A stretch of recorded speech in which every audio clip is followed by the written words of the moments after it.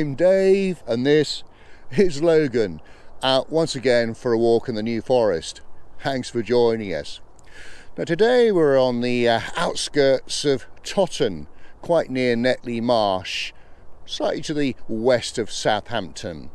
Actually we're not technically in the New Forest at the moment but we will be crossing the border shortly. And we're going to be doing a roughly three mile circular route that's promoted by the New Forest National Park as the Tatchbury Mount Trail. And it'll be a countryside walk that primarily heads up and around the Iron Age hill fort at Tatchbury Mount. Now I'm filming at the end of November. You can probably see from the steam from my breath it's a bitterly cold morning but the sun is out and fingers crossed it's going to uh, warm up we're going to be uh, wrapped up anyway, but it's going to be one of those uh, really crisp late autumn days, perfect for walking, so do come along with us. Well, I've parked my car at the Hanger Farm Arts Centre, which is just behind me here. It's a restored grade 2 listed timber frame barn that houses a theatre stage, cafe and exhibition centre. Basically it's a community hub bringing arts to all the area. It used to be a, a farm, in fact Hanger Farm was likely to have been occupied and farmed for over 900 years and at one stage it was a 187 acre dairy farm up until the, the 1950s. It was turned into a, an art centre in 2005 and the farmhouse is still here. Um, it was originally built in 1759 and then rebuilt in 2008. Well, the New Forest National Park do produce a very good guide on this walk. However, um, some of their route directions are slightly inaccurate right at the start, so uh, forgive me if early on I uh, go through um, some of those directions in, in finer detail.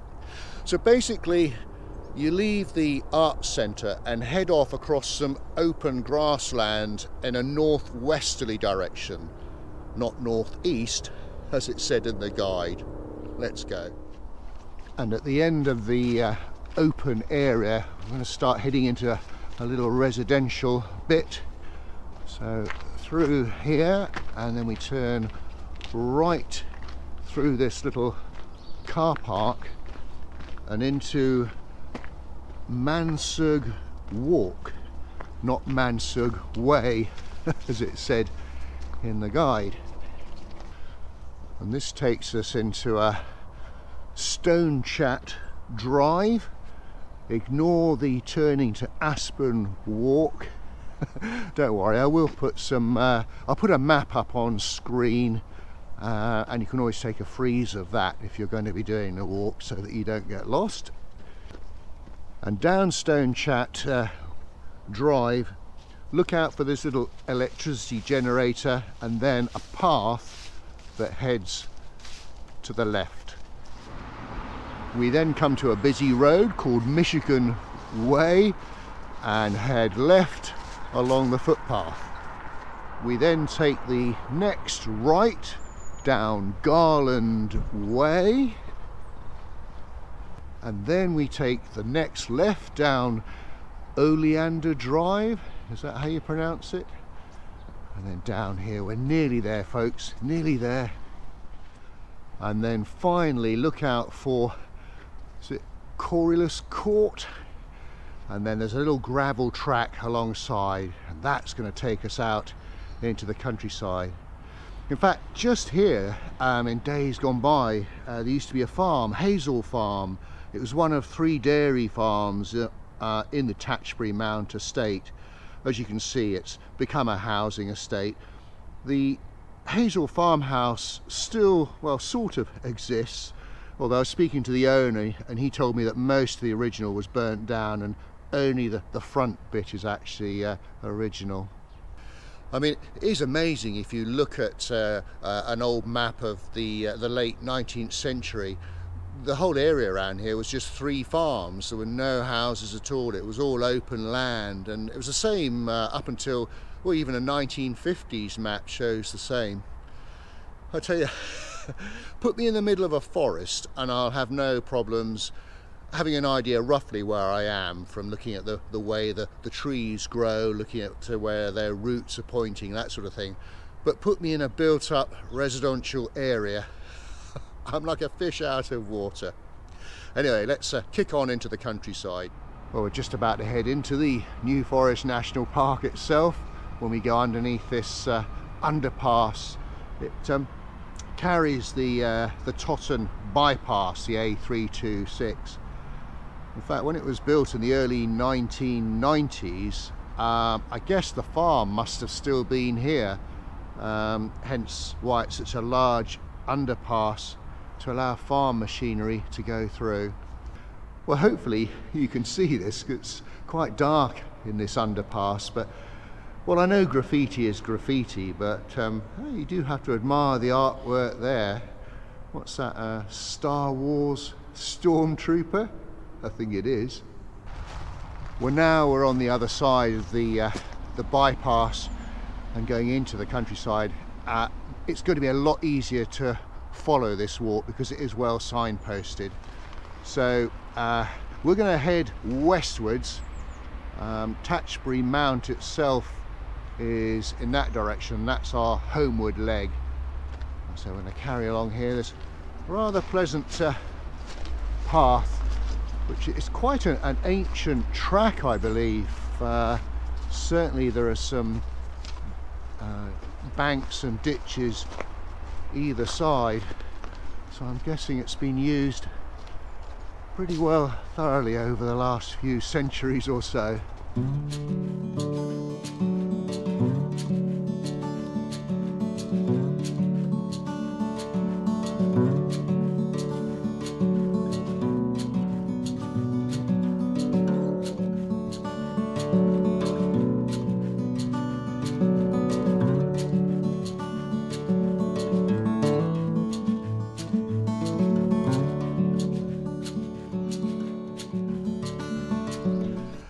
tell it's a beautiful time of year to be out walking. We've had a very late autumn uh, this year and so the leaves are only just beginning to fall but so much gold and brown and yellow colours about and uh, with the sunshine it's gorgeous especially through this little track. Now you probably just about make out over my uh, left shoulder there uh, a large white building and that's uh, Tatchbury Manor, the only remnant of a lost medieval village, first recorded in AD 903. And the village might have been destroyed during the creation of the New Forest in the, the late 11th century, but certainly by 1475 uh, Tatchbury village disappears from, from all records. But looking at the house there, some sort of high status house has stood here for hundreds of years and the house today originates from the 17th century but there may have been a royal hunting lodge uh, there when the new forest was created. But at some stage it became a nursing home but it's now closed and I think there are plans for it to become residential. It certainly looks abandoned and unloved and boarded up now. Well at the end of the uh, that track we hit a, a lane stop heading westwards and change direction and we're now heading in a northerly direction on the sort of uh, western side of uh, Tatchbury Manor.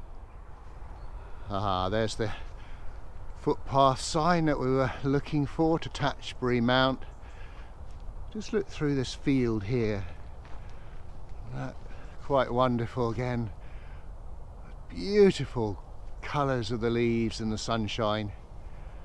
It, uh, you've got to just got to enjoy it while it's uh, like this for such a limited time. And just over actually to my left is uh, Tatchbury Manor Farm. It once uh, had a huge dairy herd here and there are still some lovely old buildings. It's now a farm shop and I think the farm shop is actually located in the old milking parlour Anyway, we are now going to start heading uh, eastwards through another very pretty little wooded area, Tatchbury Copse.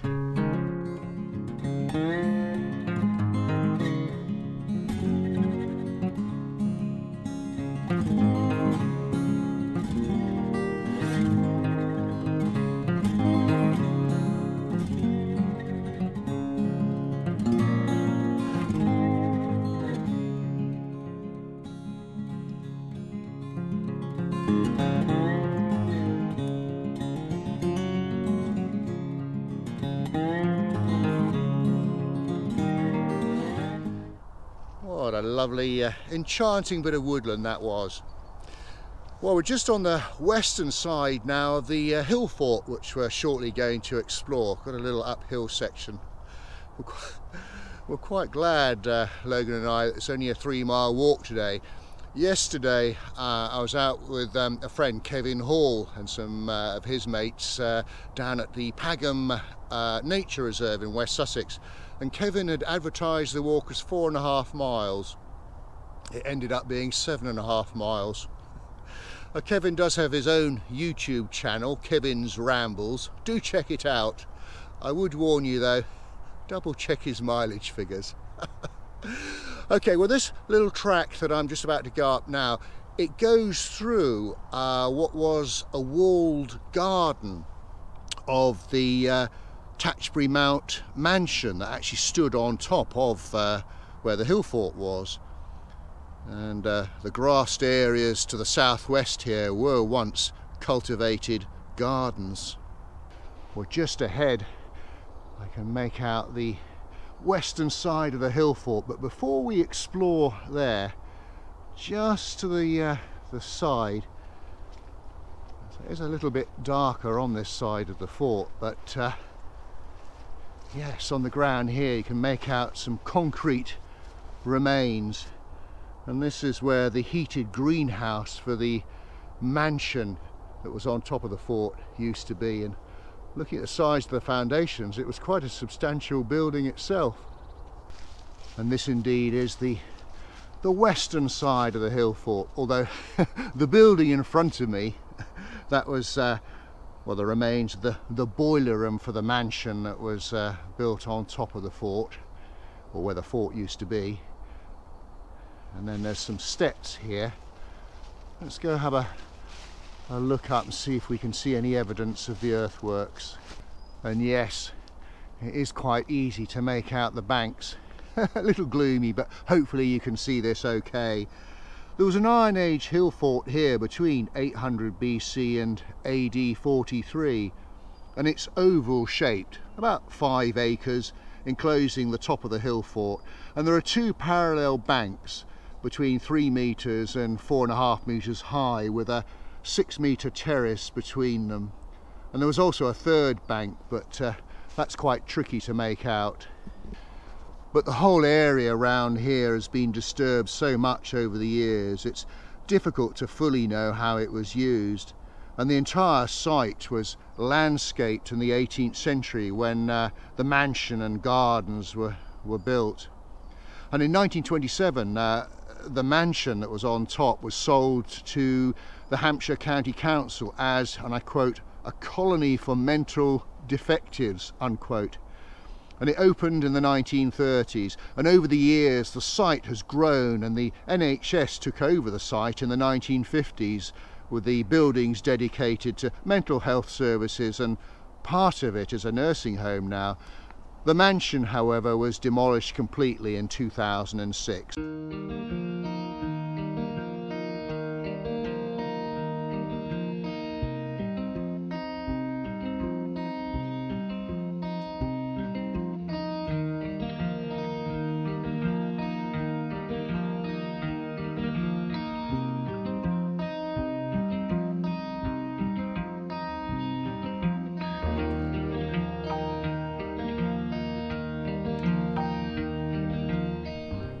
We're now on the southern side of the fort and uh, we'll be making our way along what must be the terrace between the two banks. And you've got this brown carpet of leaves on the uh, on the ground there. And then look at this quite terrific beech tree in front of me here. See if I can get it in the picture it keeps going and going and going. I wonder how many years that's been here. Well, from the southern side of the fort, some fantastic views from up here. It is quite hazy, so hopefully you'll be able to see this. But I can just about make out the uh, Fawley oil refinery in the far distance. And of course, uh, you used to be able to see the um, Fawley power station tower that had been there for 50 odd years but uh, it was demolished three or four weeks ago. But you can see why this is such a fantastic place for a fort. It's on a high position and a lot of these trees wouldn't have been here. You can see for miles. Okay well let's have a let's have a little wander to see if there's anything on the actual top of the fort itself. There's some fantastic views from the very very top just looking down this is uh, well, that's the Southampton docks in the very far distance. And then just down in front of me, where these trees are, or parallel to it, is where there was once a Roman road. I think it went all the way to Lepe Beach and the coast there. And then if I just slowly pan round so that you can see what the top of Tatchbury Mount looks like. There are um, a few of the foundations left of the old uh, mansion that was here but uh, nothing else. Gosh look at those um, tall trees there. Are they um, I think they're Wellingtonia aren't they? Or the giant redwood. They remind me of the uh, the two tall trees at the uh, the Boulderwood tall tree trail I mean the one in the middle is an absolute beauty I wonder how many uh, squirrels are in there then, Logan. well, just as we've come off the uh, hill fort and uh, seeing this vast open area in front of me, apparently they reckon that uh, way back in AD 508, a big battle took place here between, uh, I get, think his name was Natanleod. I hope I've pronounced his name correctly. He was a British king and Cerdic, a Saxon invader. And the British actually lost the battle and some 5,000 people lost their lives, including uh, the British king. Well, having said all that, some historians suggest that uh, no such battle took place, or if it did happen, uh, it didn't happen here. I think it's very difficult uh, to be completely accurate in that sort of period of history between, well, when the Romans left and when the Normans arrived, so little information was actually written down or recorded, so there, there's a lot of guesswork. So the battle might have happened here or possibly somewhere else. Well folks, we've come to the end of our walk. We hope you enjoyed it. If you did, please do give us a thumbs up and a like and do leave a comment. Not the longest walk that we've ever done, but an interesting one nonetheless. We're on the homeward leg now, get back to the car, and hopefully the cafe will be open at the Arts Centre. So until we meet again, thanks for watching, and cheerio. Well folks, here we are back at the Arts Centre for our well-deserved cup of coffee. Mmm.